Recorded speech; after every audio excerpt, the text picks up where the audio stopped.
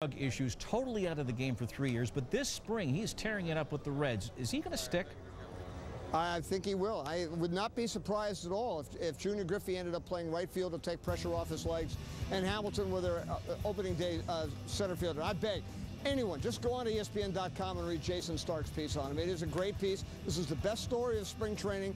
But a guy, if he can fight drug abuse drug addiction and come back and make it in the major leagues at such a young age. I mean, it was 1999. He was drafted out of high school, number one pick in the country. He looks terrific. He looks like a young Larry Walker. His swing is great. He's a very good outfielder.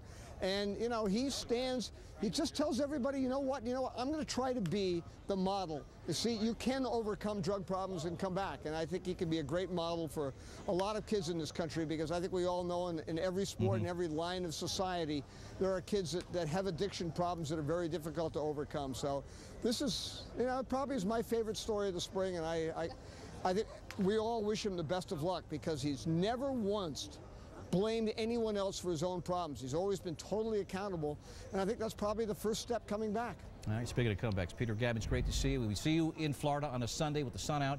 In springtime, it means the world will soon be all right. We'll talk to you again soon. Thanks a lot, Bob. All right, Bob. Uh, Michelle Bonner, good enough to join us this morning with all the conference tournament action you could possibly